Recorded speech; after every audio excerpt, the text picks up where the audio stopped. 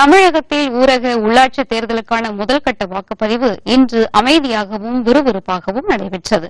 காலை ஏழு மணிக்கு தொடங்கிய வாக்குப்பதிவு மாலை ஐந்து மணிக்கு நிறைவடைந்த போதும் பல இடங்களில் வரிசையில் நின்றவர்களுக்கு மட்டும் டோக்கன் வழங்கப்பட்டு அவர்கள் வாக்களிக்க அனுமதிக்கப்பட்டனா் உள்ளாட்சி அமைப்புகளில் பல்வேறு நிலைகளுக்கான பதவிகளுக்கு வாக்காளர்கள் வாக்குச்சீட்டு முறையில் வாக்களித்தனர்.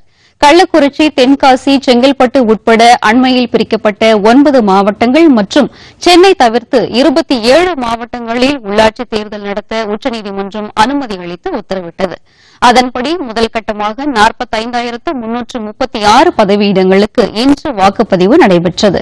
இருநூற்று அறுபது மாவட்ட ஊராட்சி வார்டு உறுப்பினர்கள் இரண்டாயிரத்து ஐநூற்று நாற்பத்தி ஆறு ஊராட்சி ஒன்றிய வார்டு உறுப்பினர்கள் நான்காயிரத்து எழுநூறு கிராம ஊராட்சி தலைவர்கள் முப்பத்தி ஏழாயிரத்து எண்ணூற்று முப்பது கிராம ஊராட்சி வார்டு உறுப்பினர் பதவியிடங்கள் இன்றைய வாக்குப்பதிவின் மூலம் நிரப்பப்பட உள்ளன.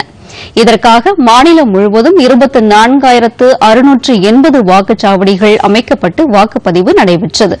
இன்றைய முதல் கட்ட தேர்தலில் ஒரு கோடியே முப்பது லட்சம் வாக்காளர்கள் வாக்களிக்க தகுதி பெற்றிருந்தனர்.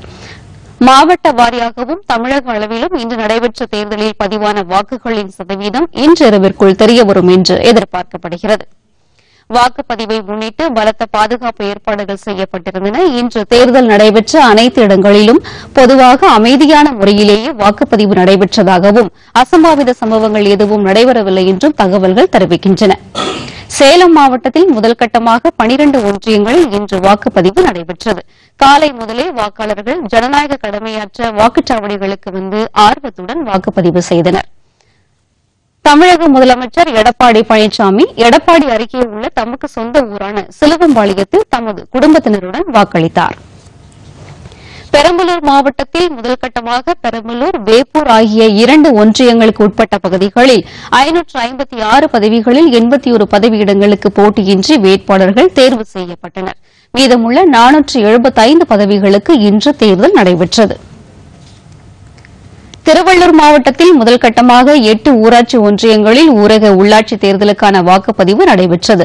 இன்றைய தேர்தலில் இரண்டாயிரத்து நூற்று ஐம்பத்தி ஒன்பது பதவிகளுக்கு ஏழாயிரத்து நூற்று இருபத்தைந்து பேர் போட்டியிட்டனர். பதற்றமான வாக்குச்சாவடிகளில் வெப் கேமரா பொருத்தப்பட்டு வாக்குப்பதிவு கண்காணிக்கப்பட்டது.